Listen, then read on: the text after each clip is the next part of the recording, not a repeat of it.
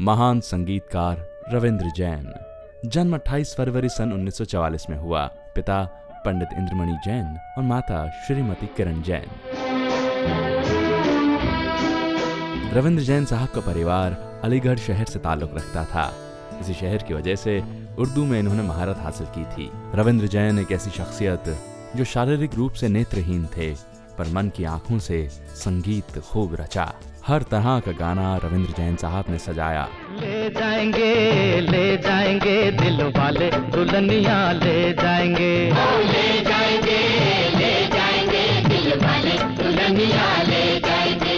अरे रह जाएँगे रह जाएँगे पैसे वाले देखते रह जाएँगे।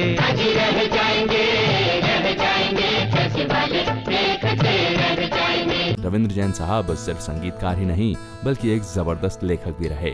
शास्त्रीय संगीत का विधिवत प्रशिक्षण लेने के बाद मन बनाया कि अब संगीत की यात्रा को आगे बढ़ाया जाए, और ये पहुँचे कलकत्ता। कलकत्ता शहर में इन्होंने काम तो किया पर ठान लिया था कि कभी साइन नहीं करूँगा। सब इनसे पूछते कि क्या बात है रविंद्र साहब, आप दस्तखत क्यों नहीं करना चाहते? और तब ये फरमाते कि साइन करूँगा तो फ़िल्म ही साइन करूँगा। जब तक इन्होंने फ़िल्म साइन नहीं की, ये हमेशा अंगूठा ही लगाया करते थे। थम इम्प्रेशन से ही काम चलता था।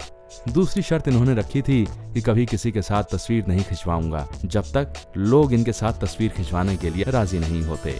और ठीक वैसा ही हुआ। नाम हुआ और लोगों ने कहा कि आपके साथ तस्वीर खिंचवानी है। तीसरी शर्त रविंद्र जैन साहब ने यह रखी थी कि वो कभी किसी को असिस्ट नहीं करेंगे। मतलब बतौर असिस्टेंट डायरेक्टर इन्होंने कभी काम नहीं किया। हालाँकि मुंबई से कई बुलावे इन्हें आए, पर यह हर बार इनकार कर देते। और इस तरह से सीधे बतौर म्यूज़िक डायरेक्टर ही इनकी फ़िल्मों में एंट्री हुई। जहाँ एक तरफ़ राष्ट्रीय फिल्म्स के साथ इनका गहरा नाता रहा और उनकी कई फ़िल्मों में दादू का संगीत रहा, सभी इन्हें प्यार से दादू ही पुकारा करते थे।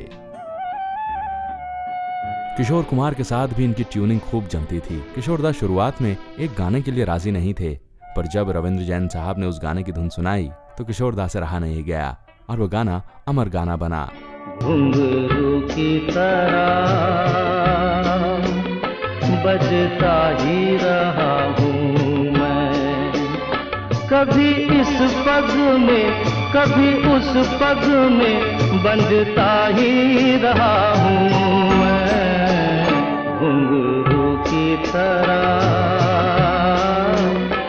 बजता ही रहा हूँ मैं।